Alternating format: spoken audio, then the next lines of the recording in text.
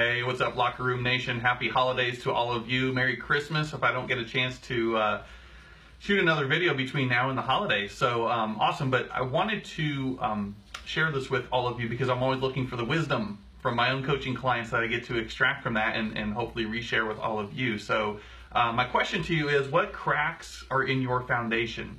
What cracks are in your business foundation? I mean, hey, after all, we are in the home business, right?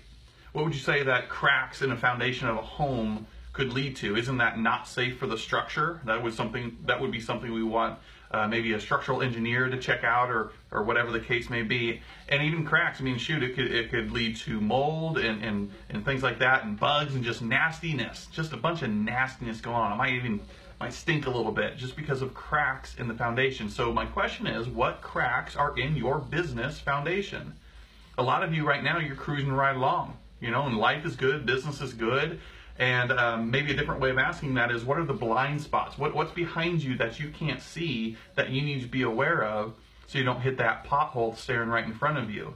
Some of you, it's just a systems thing because right now, as you're gearing up, right, and, and you're going into the first quarter of 2018, you got big goals, right? And Gary Keller teaches us in MREA, big goals require big systems to to uh, and, and, models by the way systems and models to support those big goals. So wouldn't it make sense right now as you're you're setting your goals to pay attention to the little details as well the systems in, in other words the checklists that you need to be conscious of?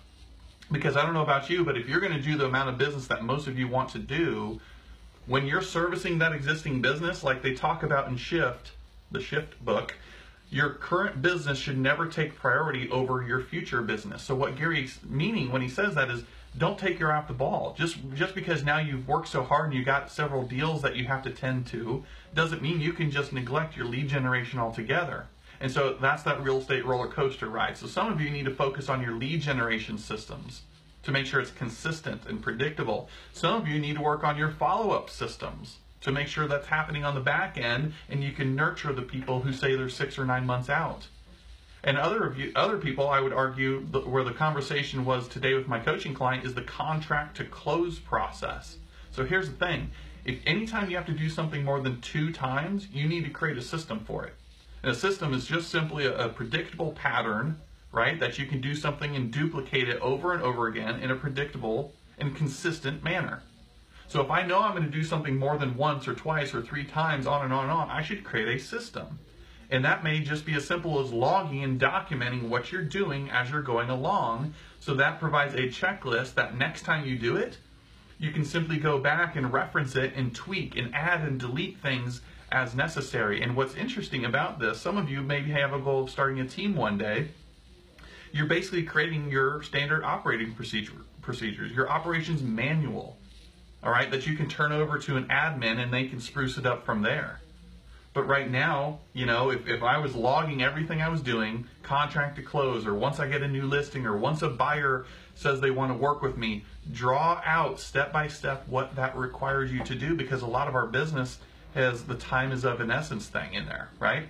So, what cracks are in your business foundation?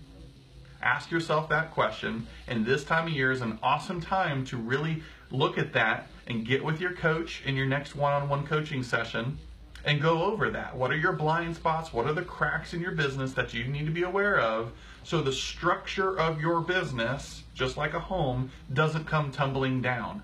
You can have a duplicatable and repeatable business year after year, month after month, week after week if you've got the right systems in place. So it's time to start elevating some of your conversations away from just mindset and getting over yourselves by doing the activities like making a phone call.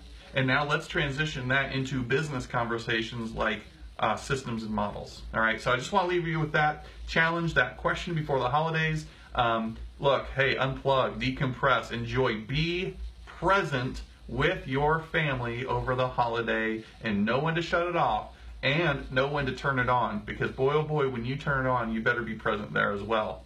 Systems checklists what cracks are in your foundation. All right guys check you later. Bye bye